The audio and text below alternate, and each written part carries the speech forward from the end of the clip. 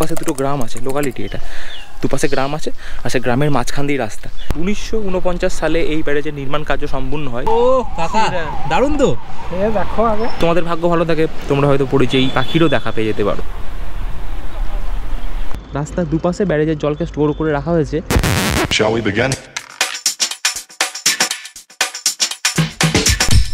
Shall we hey guys good morning and welcome to new blog আশা করছি তোমরা সবাই খুব ভালো আছো, সুস্থ আছো অ্যাজ অলওয়েজ ভীষণ হাসি খুশি আছো। আজকে টোয়েন্টি ফিফ জানুয়ারি আর এখন বাজে সকাল নটা।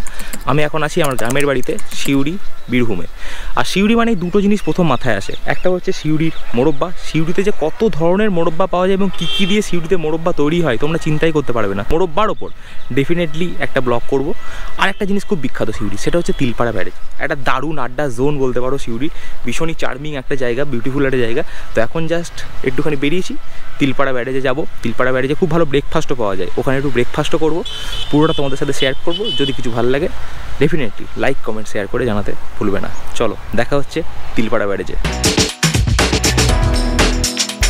এই যে রাস্তাটা দেখতে পাচ্ছ সামনে, এই রাস্তাটা ধরে যদি তোমরা ওই দিকে যাও, তাহলে তোমরা যেতে পারবে বোলপুর বা Ahmedpur.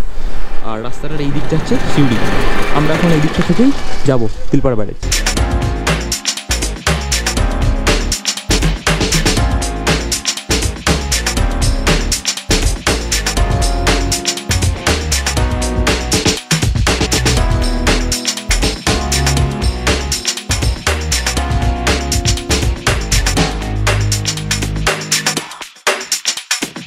This is not a drill.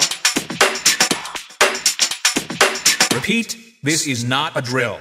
সামনের এই রাস্তাটা হচ্ছে মোড়গ্রাম থেকে পানাগড় যাওয়ার স্টেট হাইওয়ে আর সেই স্টেট হাইওয়ে ধরে যদি তুমি সামনের দিকে যাও তিলপাড়া ব্যারেজটা সেখানে রাস্তার ওপরে পাবে ঠিক আছে আর এই মোরগাম পানাগড় যে স্টেট হাইওয়ে তার সাইড দিয়ে এরকম একটা রাস্তা বেরিয়ে গেছে সোজা তিলপাড়া ব্যারেজের দিকে তিলপাড়া ব্যারেজের নিচে যেতে পারবে এই রাস্তাটা ধরলে এটা হচ্ছে তিলপাড়া ব্যারেজের রাস্তা ভেতর দিয়ে এখানে হচ্ছে দুপাশে দুটো গ্রাম আছে লোকালিটি এটা। দুপাশে গ্রাম আছে আর সে গ্রামের মাঝখান দিয়ে রাস্তা। এই রাস্তাটা ধরে সোজা গেলে একদম ব্যারেজের নিচে যাওয়া যাবে, যেখান থেকে ব্যারেজটাকে দেখতে খুব বেশি সুন্দর লাগবে, ওপরের থেকে, রাস্তার ওপর থেকে, রাস্তার নিচ থেকে দেখতে, ব্যারেজের নিচ থেকে। পুরো ব্যারেজটা ক্লিয়ারলি দেখতে পাওয়া যাবে।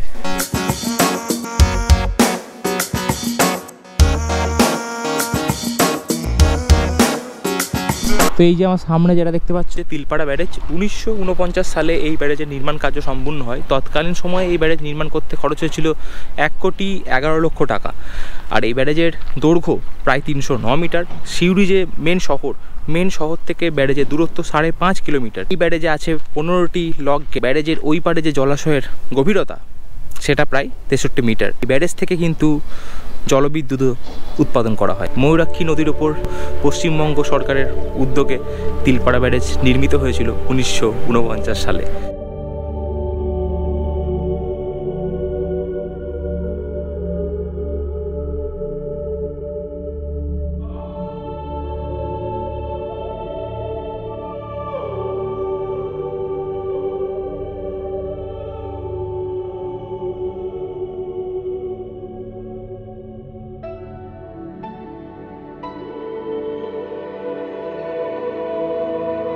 ব্যারেজের ওপরে যে রাস্তাটা, সেটাই হচ্ছে পানাগড় থেকে মোড়গ্রাম স্টেট হাইওয়ে।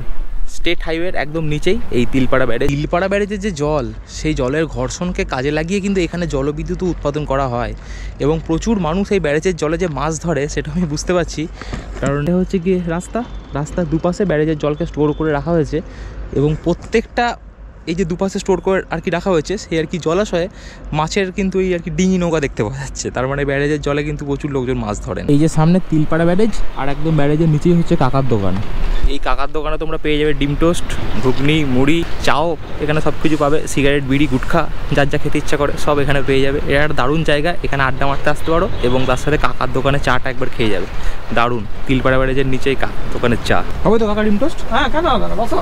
তাহলে দুখানা করে করে দাও মানে দুখানা করে মানে একখানা একখানা করে দুটো করে দাও বুঝলে আর কি হবে কফি হবে সব আছে বাহ তাহলে আগে দাও ডিম টোস্টটা দাও মানে কাকার দোকানে আমরা অলরেডি অর্ডার দিয়ে দিয়েছি ডিম টোস্টার চা Non più tra i farfalloni amoroso, notte e giorno di torno girano, delle belle turbando al riposo, ma Narcisetto a dolcino d'amor.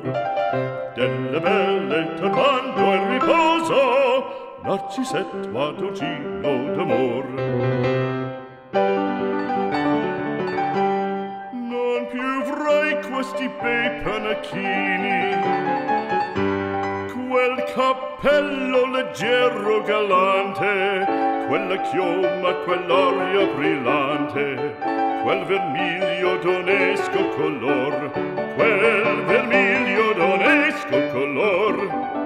Non più vrai quei penachini, quel cappello, quella chioma, quell'aria brillante. এই তিলপাড়া ব্যারেজে কিন্তু এই শীতের শেষটা করে প্রচুর নাকি পরিযায়ী পাখি আসে। সেই রকমই সরকার বলে এবং সেরকম অনুযায়ী সাইনবোর্ডও লাগানো আছে। কিন্তু আমি এখনও অবধি যতদিন এসেছি কোনো পরিযায়ী পাখি এখানে দেখতে পাইনি। তবে যদি তোমাদের ভাগ্য ভালো থাকে তোমরা হয়তো পরিযায়ী পাখিরও দেখা পেয়ে যেতে পারো। তোমার ডিম টোস্টটা তো ইয়ে হয়ে গেছে ফেমাস সবাই বলছে কাকার দোকানে খাও, খেয়ে দেখো খারাপ তো করি না ঘুগনি খাও সেটা ভালো। সামনে তিলপাড়া ব্যারেজ আর আমার হাতে ডিম টোস্ট।